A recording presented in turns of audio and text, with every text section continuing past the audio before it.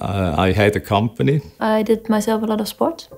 So physiotherapist is my education. And I got injured and I decided to become a physiotherapist. We were manufacturing things like this machine. The big motivation to bring me to Hocoma was the Lokomat. I did not even have the thought that I might end up myself in, in this type of machine.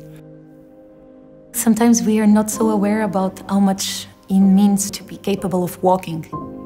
It's emotional, it's really hard for the patient. You couldn't do your, your toilet things. They have the feeling that they lost all their freedom. You couldn't eat even by yourself. They really go through a lot. And when you see what they are capable of, you see a new situation, you adapt to it. There's a lot of potential in the body and in the brain.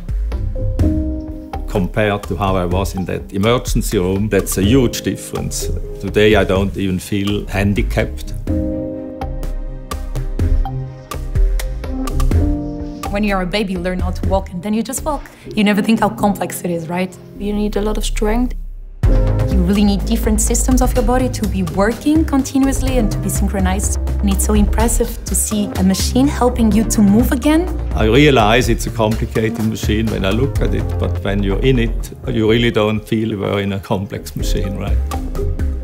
We want the patient to participate, to try to be active, to think about the movement. The Lokomat can really contribute to the intensity. I try to follow the movement of the Lokomat with my own muscles. We can really activate the patient to walk with the Lokomat. But you also need repetition. You need to make a lot of steps to regain the neural pathways.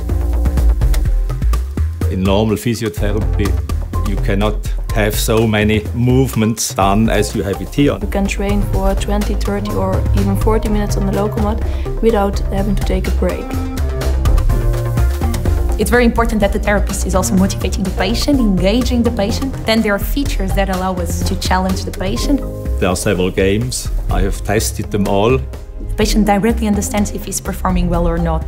I can control the direction with the remaining force that I have in my legs. He activates even more and he's getting even a better results. I always want to break my own record. So it's this cycle of motivation and participation that will allow us to have better outcomes. We are launching the new sensation package. We have auditory cueing, we have the music.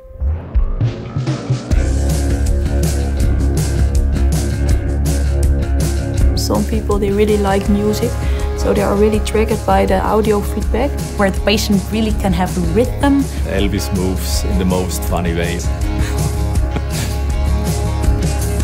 For every patient, there is some kind of feedback that will help them. I'm 63 years old, I still react on these games.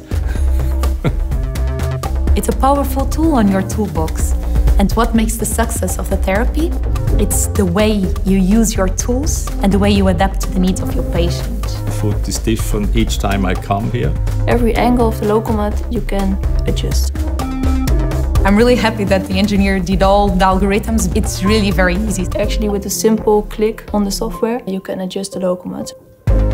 Being a physiotherapist is also a hard physical job, so technology came to help us. On a normal session, I make about one kilometer of walking, way beyond something a physiotherapist would do in a session. The Lokomat can really provide the intensity of the training and also the repetition of the movement. So the machine is doing this hard job and allows the therapists to do a quality work, to focus on other important aspects. After the Lokomat training, I really feel better. Blood circulation, the digestive functions, they all improve. The legs get much more flexible. The spasms uh, have been reduced remarkably.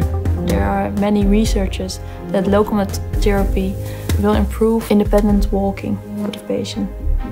On an emotional level, I really feel like walking normally and they enjoy that feeling so much because they, they didn't do it for so long. And if you are handicapped, you realize that this is the most important thing in life, how you feel about things.